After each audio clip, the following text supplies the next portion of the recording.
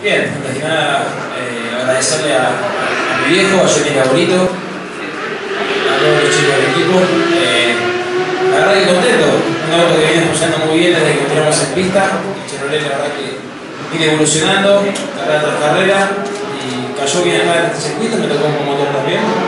Así que nada, saliendo bien, saliendo bien. Para mañana es una pole que llega en un momento muy bueno, son dos puntos importantes para la Copa de Oro y, una buena chance de poder ganar mañana, así que confiado y, y contento por, por, lo que pasó este fin de semana. Eso significa que, que, tengo un gran equipo, que tengo un gran chasis como lo es mi viejo, eh, que está haciendo un trabajo excelente, puso los dos mejores Chevrolet del equipo bien arriba, eh, estamos, estamos ahí y bueno, creo que, que eso habla la clara de, del equipo que tenemos. Eh, yo tengo la ventaja de que tengo 30 kilos, eso es muy importante para poder estar peleando también, eso me está ayudando.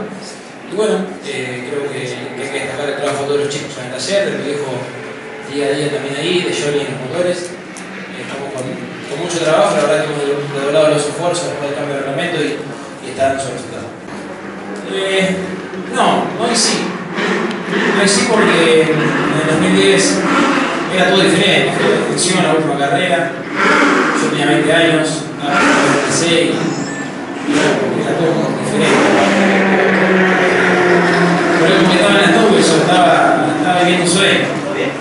Diferente, uno se toma las cosas de otra manera. Eh, estoy mucho más tranquilo en ese momento. Creo que, que me juega un poquito a favor también.